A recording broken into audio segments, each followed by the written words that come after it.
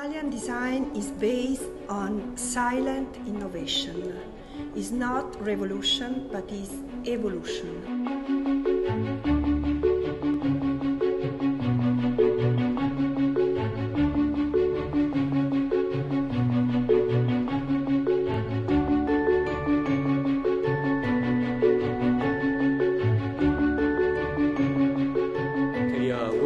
저희 한국국제교류재단이 협력을 해서 어, 이번 그 보석 디자인전을 개최하게 됐습니다. 우리 한국 어, 국민들이 이태리의 무- 문화의 저력을 또 확인하고 그 문화 내용에 대해서 어, 심도 있는 이해를 할 수 있는 계기가 될 것이라고 생각됩니다. You see, this was a sort of silver tube with just an onyx at the end.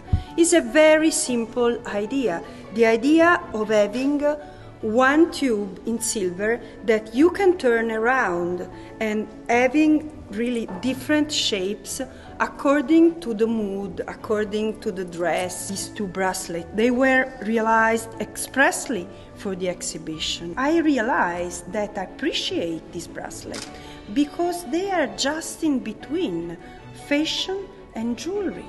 They are very contemporary.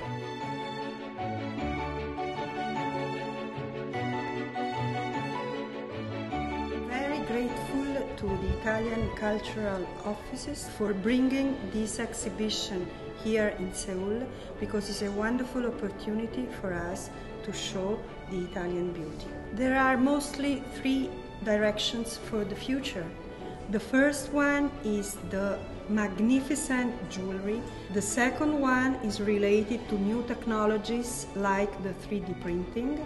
And the third futures, according to me, is related to wearable accessories, jewelry, including technology. We are innovating uh, what we have. We use also our past for the future to innovate, continuously innovating. So we will have another exhibition here in July in the same place with a different concept.